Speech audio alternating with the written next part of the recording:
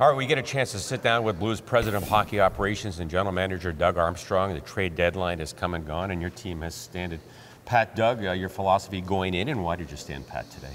Uh, well, we were uh, taking phone calls and, and, making phone calls, and at the end of the day, uh, uh, our recent play had put us in a spot where uh, we didn't we didn't make any moves. Obviously, the Blues have three unrestricted free agents this summer, including Scandella. Buchnevich name was um, public for the last couple of weeks. Did you take a lot of calls on those players? Uh, yeah, I don't want to get into speculation of what what uh, people are uh, reporting or making up or whatever, however they're getting it. But uh, you know, it's a time of year where where teams talk about all sorts of different uh, uh, people and players. Doug, obviously you have a lot of conversation. All teams do. Does sometimes uh, conversations that don't lead to deals perhaps lead to deals down the road? Yeah, that's happened quite a bit in my uh, tenure. You, you, you start to talk, and all of a sudden you you keep your notes, and you get to the draft, and something may pop itself up, or you hear what other player or people may have done, and uh, there are a lot of trades have made today, and uh, there's going to be some great first round matchups of of teams that have uh, spent a lot of assets, and uh, the reality is is after the the first 12 or 13 days, eight teams are going home, and some of them spent a lot of assets to get here. We, we've been in that spot in the past too, and uh, uh, so I think at the draft everything will be settled in, and we're looking at a new year, and uh, we'll see what, what comes up at that point. But yeah, there's there's a lot of conversations now that, that you do keep in the back of your mind. Doug, you had said uh, before the season began that you expected the team to contend for a playoff spot, a wild card spot. You are contending. You're only six points yeah. out. Are they about where you thought they would be right now? Uh, yeah, I thought we. Yes, I guess if I if I said we hope to be contending and we are we are in that spot, I think. Uh, uh, you know, as, as the season goes on, you have ebbs and flows. Uh, uh, we put ourselves in a really good uh, spot heading into the All Star break. Coming out, we won two games, and then, you know, quite honestly, we, the the, bot, the bottom has fallen out recently, and we have to find a way to to cauterize that and, and to start playing better hockey.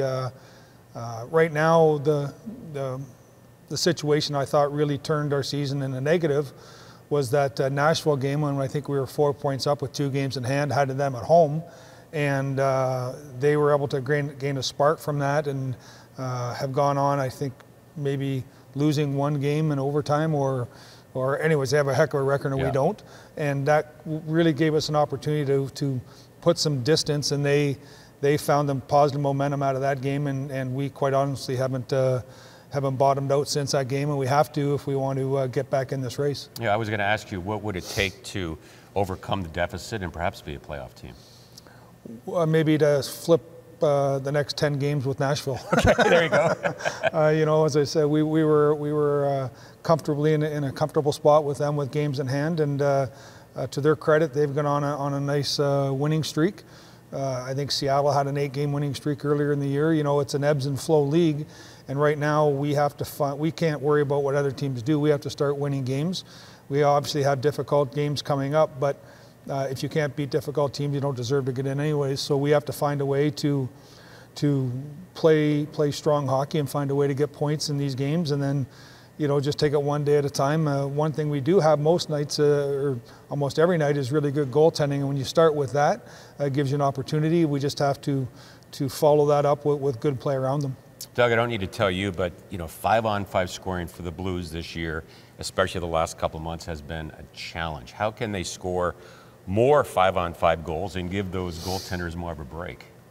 Well, I, I think that our, our shot volume is in the lowest in the league, and our pucks towards the net are in the lowest to the league. And I know it's something that's been host, uh, preached on by two different head coaches now is that getting pucks to the net and you have to go into the hard areas. And when we do it, uh, we've had success. And then for some reason we we want to start playing east-west and, and, and pass up shots and uh, uh probably play a little bit outside our skill level uh, thinking there's a better play to be made when there isn't. And uh, you look at the teams now that, that have successes, they, they play direct from a certain part of the ice. And, and when we play like that, we're successful. And we don't, uh, we don't produce offense.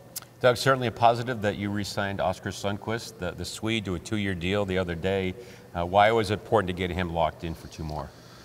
Uh, well, Sonny's uh, obviously been a, a big part of our organization uh, uh, for a number of years and a couple different times, and, and getting him back uh, uh, was was good. Um, when I when I look at that line of Sundqvist, Toropchenko, and Walker, probably our, our our most complete line every night for what they asked him to do. They very rarely is the variance from a, a great game to a poor game different. Uh, and I think that that uh, is is a positive effect on our team. Uh, Sonny loves St. Louis too, and that's uh, uh, something that you can't take for granted. Someone that wants to be here, wants to be the fabric of our community.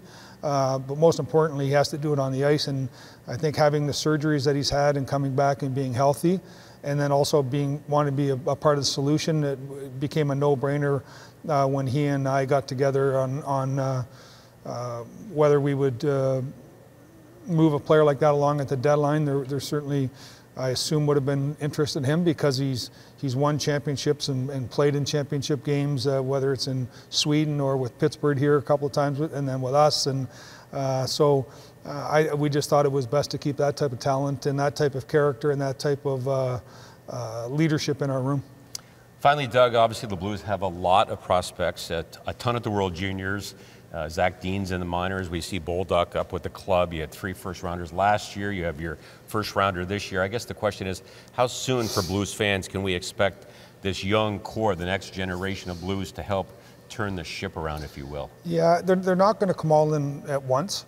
Uh, I, I, think that uh, what we've seen is growth in our younger players. That's one of the things I wanted to see this year, or we wanted to see as an organization. Uh, Jake Neighbours has, has had a good year. Uh, Scotty Perunovich now is healthy and is, is getting an opportunity on a nightly basis. Uh, Bolduc is up now. Uh, Kessel's been up. And I think uh, we're going to probably see Dean at some point too. So we're going to keep interjecting these younger players as we go. I think first round picks or players drafted in uh, 2023, you're, you know, we're going to have to stay patient. Yeah.